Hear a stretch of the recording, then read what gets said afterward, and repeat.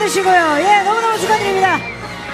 자, 소감 한마디 부탁드릴게요. 성종 씨. 어, 네. 일단 일단 이 상을 주신 쇼 챔피언 대접비는 너무 감사드리고요. 네. 그다음에 이중엽 대표님 너무 감사드리고 네. 동민 선생님, 그다음에 수남 누나, 그다음 레드 카페 분들 그리고 뭐- 무엇보다 네. 저희 멤버들 너무 감사하고 사랑합니다. 그리고 네. 마지막으로 인스피릿 여러분 사랑합니다. 감사합니다. 아, 반갑습니다. 여러분 덕에 1등할 수 있었습니다. 정말 네. 감사합니다. 이 기쁨을 노래로 표현하자면, 네. 이 기쁨을 노래로 표현하자면, 이보다 좋을 수는 없다. 아, 네. 아, 좋아요, 그 좋아요. 노래 떠올려내 너무 감사드립니다. 아, 좋습니다. 네. 우리 인피니트 여러분들 앵콜송 준비하시고요. 아, 여러분들. 그럼 저희는 여기서 인사드리도록 하겠습니다. 진정 즐길 줄 아는 쇼 챔피언! 여러분의 쇼 챔피언! 다음 주에 만나요!